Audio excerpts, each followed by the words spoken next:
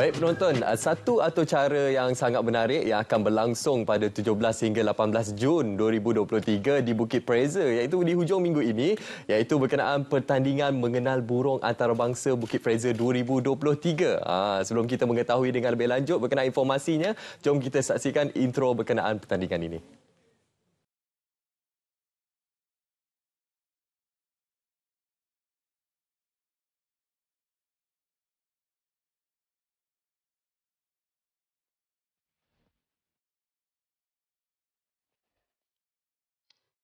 Okey, untuk ruang dan ketika ini kita akan berbicara berkenaan pertandingan mengenal burung antarabangsa Bukit Fraser 2023. Saya cukup berbesar hati bersama dengan dua orang tetamu di studio pada pagi ini iaitu yang berhormat Leong Yuman yang merupakan Exco Perpaduan Pelancongan dan Kebudayaan Negeri Pahang. Selamat pagi YB. Selamat pagi, salam sejahtera.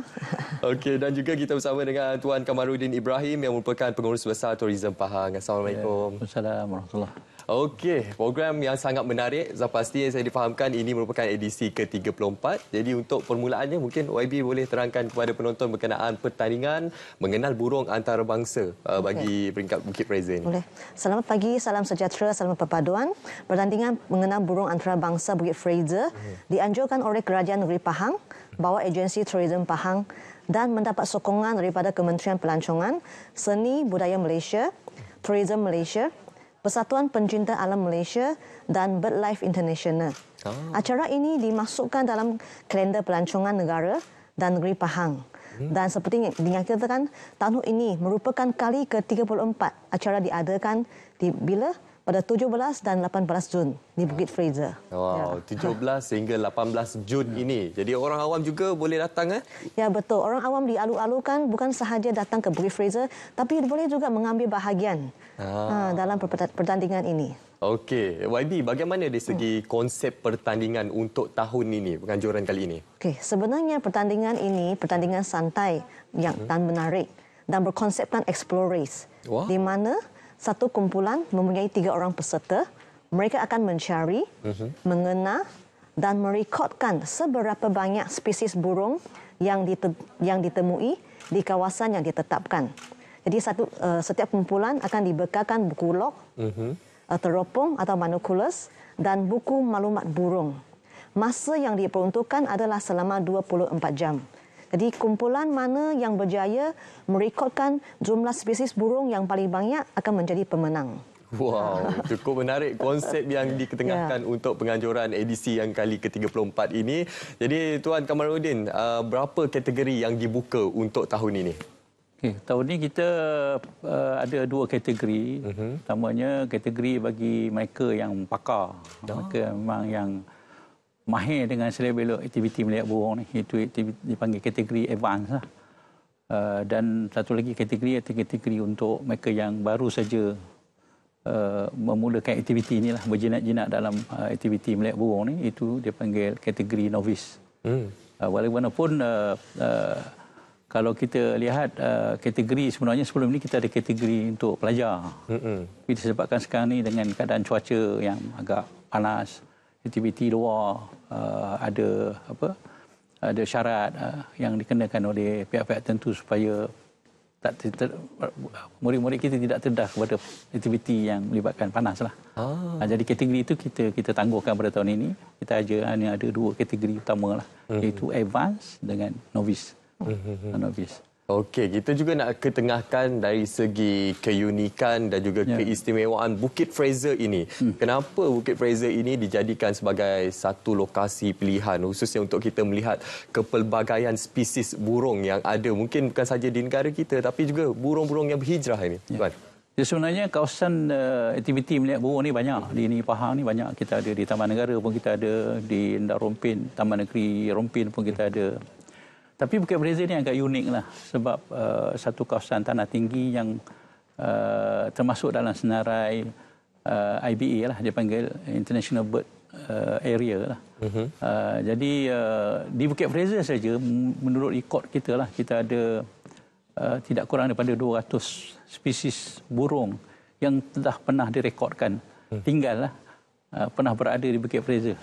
Uh, sama ada burung yang uh, memang uh, apa nama duduk di Bukit Belajar ataupun burung yang hijrah Dan datang sejauh Siberia daripada China daripada Australia dan sebagainya. Jadi Bukit Belitung yang merupakan tempat mereka transit, mereka singgah sementara sebelum mereka uh, burung-burung ni berhijrah ke kawasan-kawasan yang lain mengikut cuaca lah. Ah, ya. Jadi untuk edisi kali ke-34 ini, bagaimana dari segi penyertaan para peserta, khususnya bagi peserta peringkat antarabangsa? Mungkin ada sasaran daripada pihak penganjur bagaimana? Setakat ini kita telah mendapat penyertaan daripada 10 buah negara lah. Oh. Uh, di mana negara baru uh, yang uh, yang turut serta pada tahun ini iaitu daripada China, uh-huh. tim daripada pasukan daripada China dan satu lagi daripada India. Uh-huh. Uh, daripada India dan Sri Lanka ada tiga lah. Jadi uh, uh, selain daripada Singapura, Filipina, Vietnam, Thailand, uh, kita ada penyertaan daripada uh, rakan kita daripada Borneo, uh-huh. daripada Sabah dan Sarawak lah. Okay. Selain daripada peserta-peserta daripada dalam negara kita sendiri lah. Ah, berjaya menarik perhatian peserta pencinta burung ini. Ya, betul. Bukan saja dalam malah juga di peringkat antarabangsa. Dan tuan tadi menyatakan 10 negara di peringkat antarabangsa telah Dekat ini telah eh? mendaftar. Okey, YB, bagaimana YB melihat uh, melalui penganjuran uh, mengenal burung peringkat antarabangsa uh, khususnya yang dilaksanakan di Bukit Fraser ini memberi limpahan ekonomi kepada uh, negeri Pahang sendiri khususnya kepada ekonomi setempat, ekonomi pelancongan dan sebagainya.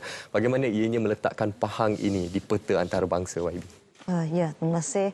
Sebenarnya kita bersyukur kerana Pahang amat uh, bersyukur kita dikurniakan khazanah alam termasuk Bukit Fraser dan kita percaya bahawa dengan penganjuran acara ini kita dapat uh, menarik uh, kedatangan pelancong bukan sahaja peminat-peminat burung ke Bukit Fraser dan pada masa yang sama selepas pertandingan ini kita akan dapat uh, kesan positif yang berterusan bahawa mereka sudah mengenali uh, ke uh, beautiful of the Bukit Fraser dan Pahang dan akan terus datang semula ke negeri Pahang.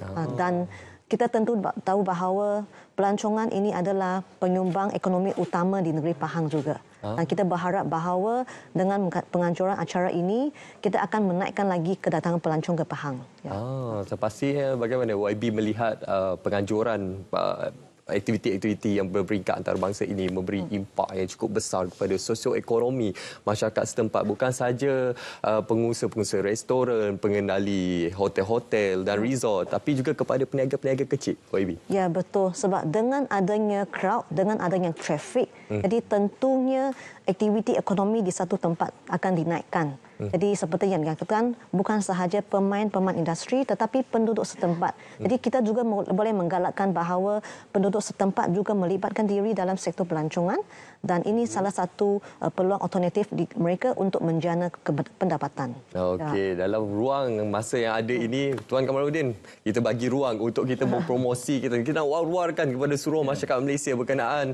uh, pertandingan bagi peringkat antarabangsa untuk mengenal burung di Bukit Fraser ini kita buka kita masih lagi buka lah uh-huh. penyertaan kepada uh, individu ataupun pasukan-pasukan tertentu lah untuk turut serta dalam pertandingan kita pada kali ini lah dan uh, kita walaupun uh, pertandingan ini bukanlah uh, hadiah bukan menjadi satu satu satu apa uh, yang yang dicari oleh peserta lah uh, kepuasan mereka dapat melihat burung uh, uh-huh. uh, secara terus uh, Uh, sebab di Bukit Fraser ni kalau kita lihat untuk kita melihat burung ni dia agak mudah lah kalau hmm. kita pergi di kawasan-kawasan yang lain sebab uh, Bukit Fraser ni satu kawasan tanah tinggi yang yang yang tidak besar seperti mana Cameron Highland hmm. jadi boleh katakan kita boleh boleh lihat dengan mudah lah burung-burung yang terdapat di Bukit Fraser ni wow. uh, bagi bagi mereka yang belum lagi uh, mencuba aktiviti ini saya galakkan hmm. untuk mereka mencuba aktiviti ini sebab hmm. ini adalah satu daripada cara kita lah di Negeri Pahang untuk memastikan bahawa uh, kawasan uh, pelancongan kita di Bukit Fraser ni uh-huh. terus uh, menerima kunjungan uh, pelancong lah sama ada uh, mereka yang beriman kepada aktiviti-aktiviti yang seumpama ini ataupun aktiviti-aktiviti riadah yang lain yang terdapat di Bukit Fraser. Okey, bagi yang berminat bagaimana cara untuk mereka mendaftar? Uh, mungkin uh, kita ada dalam dalam uh, boleh tourism Pahang uh, kalau kita Google kan itu kita akan dapatlah uh, ni dan kita buat publicity di dalam FB dan IG dan sebagainya lah. Ah. Jadi kalau sekiranya uh, uh, walk in boleh juga mana terus daftar. Masa... Tanding ini 24 jam. Uh-huh. Mereka boleh berada di Bukit Fraser untuk melihat burung waktu siang, malam dan sebagainya. 24 jam. Jadi kita ada kawasan-kawasan yang kita kita kita tentukan untuk pergerakan mereka lah. Okey. Ha, dengan cuaca yang baik di Bukit Beza, kalau siang tu dalam 24, 23, uh-huh. malam jatuh sampai 16, 14. Wow. So sangat menarik lah kalau tengok di Bukit Beza ni. Dan uh-huh. kalau bagi peserta di Lembah Kelang ni dekat. Uh-huh. Dalam 100 km je, lebih kurang dalam 1 jam, 1 jam setengah untuk sampai ke Bukit Beza. Sangat mudah lah. Okey, sedikit kata-kata daripada YB sendiri untuk memberi sokongan kepada pertandingan mengenal burung antarabangsa ini. Okey, kita mengalu-alukan kedatangan tuan-tuan dan puan-puan uh-huh. bukan sahaja melawat Bukit Fraser tapi mengambil peluang ini untuk mengambil bahagian dalam pertandingan mengenal burung antarabangsa Bukit Fraser. Jomlah lawat kita dan jangan lupa hari Sabtu, hari Ahad ini kita masih menerima uh, pendaftaran secara online ataupun walk-in. Jadi pertandingan akan bermula Uh, jam 1 petang hari Sabtu ini hingga jam 1 petang hari keesokan. Dan kita berharap bahawa tahun ini kita dapat mencecahkan rekod. Wow, sasarannya berapa YB? Sasaran kita uh. melebihi 100 lah. Wow. 100 pasukan. Pasukan. 100 pasukan eh sasaran untuk tahun ini insya-Allah. Kita sama-sama doakan semoga ianya uh, berjalan dengan lancar, dipermudahkan, cuaca baik juga. Uh-huh. Diharapkan untuk ujung minggu ini. Apapun kita ucapkan terima kasih kepada yang berhormat Leong Yuman yang merupakan Esko Perpaduan Pelancongan dan Kebudayaan Negeri Pahang dan juga uh, kepada Tuan Kamaluddin Ibrahim pengurus besar Tourism Pahang untuk perkongsian pada kali ini. Terima kasih. Terima kasih. Terima kasih.